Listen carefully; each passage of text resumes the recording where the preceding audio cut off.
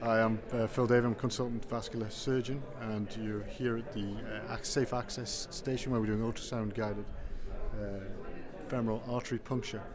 Um, I've been teaching vascular surgeons, interventional radiologists, and cardi- prospective cardiologists this. Um, it's a generic skill, and it's a skill that all three specialties must be able to hone in on.